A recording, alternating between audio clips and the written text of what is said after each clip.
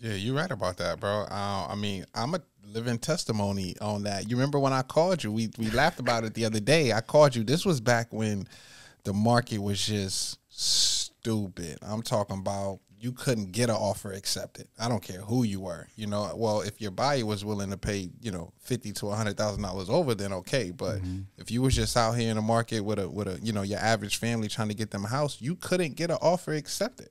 I, and I called Rich crying on the phone. Rich, bro, uh, we we seen thirty houses, bro. We we submitted fifty offers. I can't get it accepted, bro. What am I doing wrong? Talk to me, talk to me, man. Help me. Yeah, this shit was hard. Now, real talk, like I'm, I still consider myself rather new. You know what I'm saying? Like I got in the game in what 2015.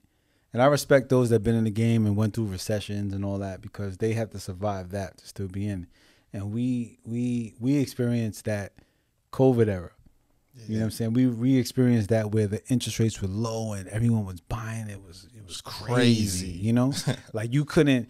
Man, a house hit the market and there's 20 people going. There's offers everywhere. It was just it was real competitive. But you know, the only strong survive. You know what I'm saying? And we we became we were products of that. You know, and even even with marketing on Zillow and getting buyers from out of state. Like it was hard to get a, a offer accepted. Yeah. Like if you wasn't coming big cash, way over asking, like the the market's seeing some sh- some, some some shit. You know.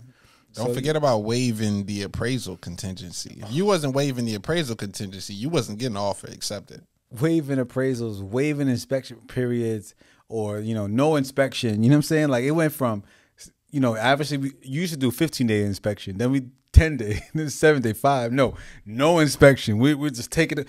Bro, not even seeing the property, unseen offers. Like yeah, it yeah. was gangster. Yo, know? it's crazy because during that time, I actually, let's talk about that too. Let's talk about helping out family members and friends in the real estate industry because shit can go south. You know what I'm saying? You can lose relationships helping out friends in the real estate game. I mean, there was a point in time where I had a friend that came to me and asked me to help him purchase a house. I said, okay, let's do it.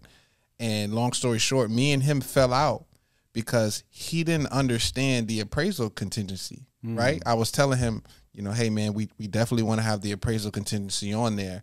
And he was telling me, nah, don't worry about it. Just, you know, waive it because we wanted to get an offer accepted because we, ex- we we submitted about three or four offers. They wouldn't get it. They weren't getting accepted. So he was telling me, forget about the appraisal contingency, bro. Let's just waive it.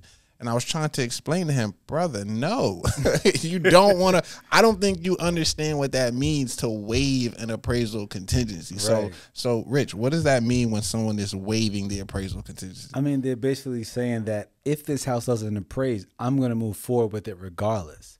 You know what I'm saying? So, I know that you think the house is worth X amount, but if the bank says that it's not worth X amount, I'll pay the difference of whatever you know it is.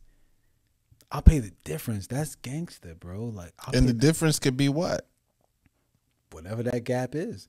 If the house appraises for, let's say, uh, three hundred and fifty thousand, right? Mm. But you offered four hundred thousand.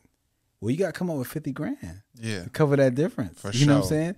The appraisal contingency allows us to protect ourselves. So, okay, if it doesn't, if it's not worth what you say if it's not worth what I think it's worth, I don't gotta pay for it. For sure. You know what I'm saying? And by waiving that, you psh, shot yourself in the foot.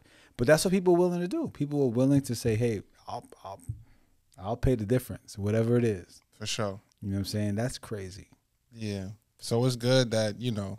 I, I tried to explain to him, like, brother, you don't want to do that and he didn't he didn't understand what that meant and we end up actually falling out man. And it was a relationship that we uh, we haven't spoke to this day because of that man. It's it's, it's crazy. and i'm trying to protect him. I'm like brother i'm trying to protect you bro. Well you know what? That's a good situation because you actually tried to you know put him on the game on how to work. The problem is i feel that when working with friends and family two things. And if if anybody's new getting into the business one just be prepared that a friend or a family member will do business without you. They will go to a stranger and get an opportunity without you. You got to expect it. Just expect it because it's going to happen. I, bro, I've been in the game since what 2015, and it, it happened to this day. Mm. You know what I'm saying? I just had a family member caught with somebody else. Mm. You know what I'm saying? And I could say this: when things go south, then they come back to you. For sure. You know what I'm saying? When things fall apart or the offer doesn't get accepted or somebody fumbles the ball, then they want to call you. It's gonna happen. You know what I'm saying? But um it's just one of those things when you when you when you're new in the business that that happens. So when it comes to friends and family, I would say don't shortcut your listing presentation, don't shortcut your buyer broker agreement, don't shortcut anything. You gotta treat them like a regular customer because those are the people that's sleeping on you, sleeping on your knowledge, sleeping on your expertise, and at the end of the day, they're gonna double back and be like, "Damn, I should have came to you first. Happens all the time. For sure. Yeah.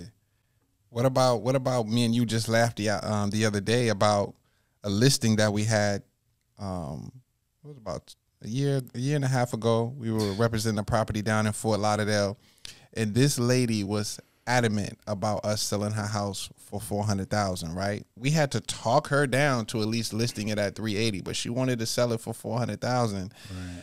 And we happened to look um, um at the records uh, on the market to see what that house actually sold for cuz we ended up falling out with the lady. Things didn't work out. Long story short, we looked online to see what that house sold for and it actually sold for about 350. So it sold for about $30,000 less yeah. than what we had it but, listed for. But when you when we when we told her that the price the house was overpriced based on the condition and she should drop the price, they fought us. Yeah, she didn't want to hear that. They fought us on that. You know what I'm saying? And it takes now you got to hear from someone else. Yeah. Other than the people you originally been working with, who are the experts. You know what I'm saying? Now you got to hear from someone else. Okay, yeah, your house is overpriced based on the condition because a lot of these people, you know, they they think that they they think the value of the house is this much, but they forgot how much they neglected the house. Yeah, for they sure. They did no repairs.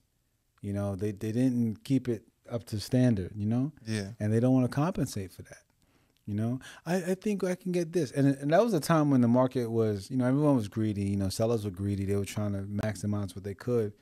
But then that reality check came in when it don't sell. When that when them when those buyers do an inspection and they see the true condition, you got to be prepared for that renegotiation.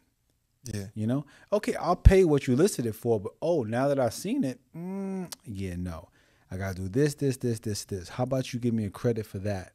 And then they, there's like a harsh reality because that net, that, that net amount that they walk away with, they're not ready for that.